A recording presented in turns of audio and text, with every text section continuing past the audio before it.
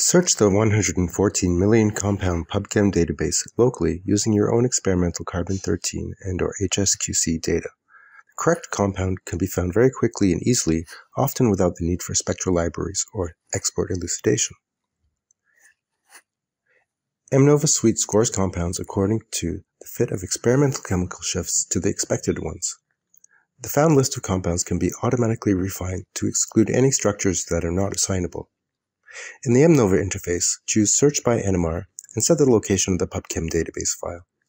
Press the NMR search button, confirm the molecular formula and weight, choose the NMR search options, whether to refine by carbon-13 assignment, and press OK.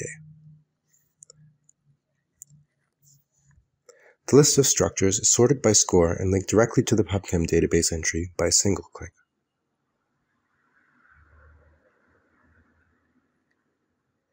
This capability is a function of MNOVA Suite elucidation module. Thank you for your attention.